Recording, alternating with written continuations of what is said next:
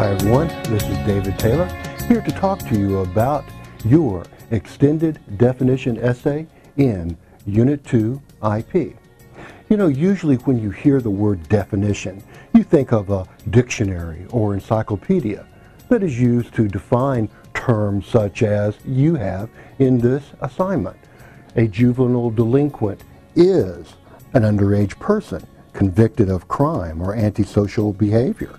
A venture capitalist is a person who provides money for innovative projects. Now, those are called standard definitions, and you should definitely know them, and you should definitely put them at the top of your essay whenever you write it on one of these terms that you are assigned. However, a standard definition is only a one small part of an essay that you would write on one of these assigned terms. Let's take a look at those terms right now. Here they are. Juvenile delinquent, stimulus package, Bill of Rights, ICE, Immigration and Customs Enforcement, habeas corpus, adjudication, fiduciary, cubism, venture capitalist, intellectual property. Or you can suggest your own term to define if your instructor approves. However, regardless of the term you choose, you'll be writing what is called an extended definition essay. And because you're writing an essay, no matter what else you call it, that means you will state a thesis which expresses your individual point of view or unique take on the term you select. This thesis should be stated at or near the end of your introduction paragraph. Two, develop your thesis with at least three body paragraphs that support, prove, or illustrate your thesis. And three, wrap up your essay with a conclusion paragraph that drives home your main point. So the question is, how do you write an effective essay and organize it around one of these terms that you have only passing familiarity with? The answer is any way you want. Any organizational pattern that you choose can be used to organize this essay. Let's take a look at some of these organizational patterns and how you can possibly use them.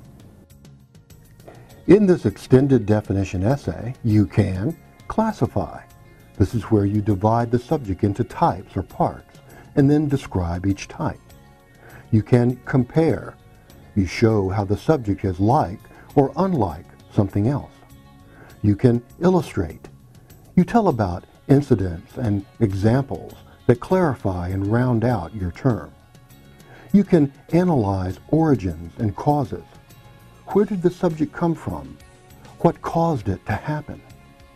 Or you can show results and uses. Here you describe the consequences and uses of the subject. Can you think of other patterns? Go ahead. Be my guest take whatever approach you wish when it comes to organizing this essay.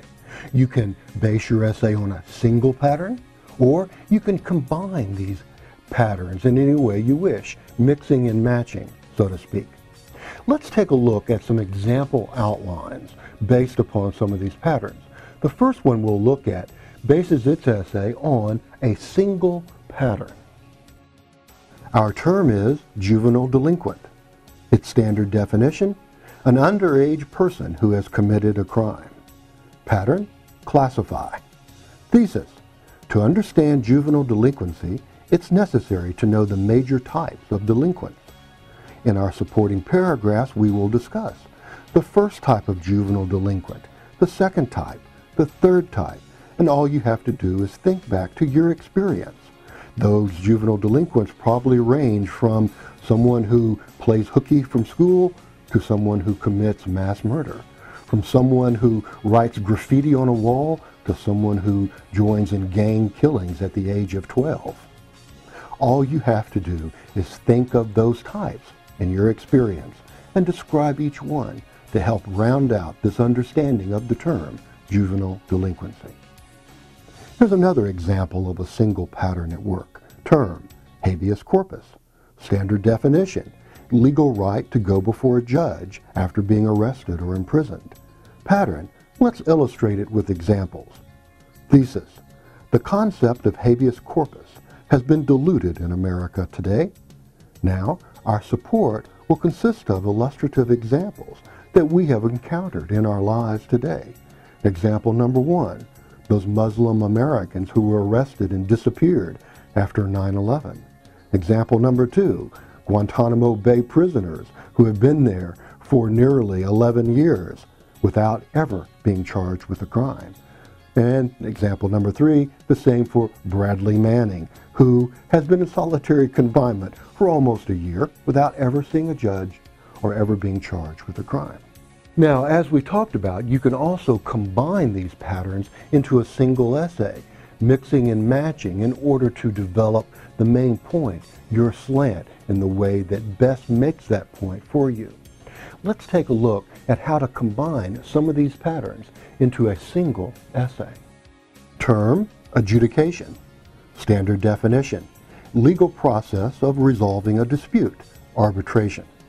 Thesis, when it comes to criminal acts, adjudication short-circuits the legal rights of Americans. Our support, well, in our first paragraph, we could use the classify pattern and define forced arbitration as the type of arbitration or adjudication that we are going to write about. Our second paragraph or paragraphs could be based on the narration pattern. Here we would tell the story of Jamie Lee Jones, who was brutally raped by her Halliburton co-workers in Iraq, but required to submit to arbitration without appeal. And then, to wrap up the essay, we would use the results or consequences pattern. Because she was deprived of the due process of law, her rapist went free. Also, page 482 in your successful writing text provides an excellent example of using multiple patterns to define the term lurking in an essay. Please take a look at that. Now, regardless of the term you choose or the patterns you employ, remember that this essay must be an APA essay using the APA manuscript settings. Now, that means that your essay must have a title page with running head, page number, and info block. Two, have an abstract page with the word abstract bold-faced and centered, and the abstract paragraph not indented.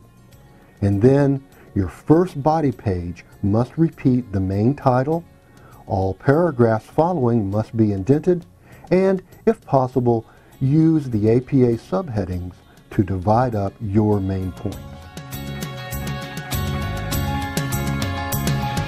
Okay, good luck with your extended definition essay, and please let us know if we can help you in any way during the process of writing this essay. Okay, so long, and again, good luck.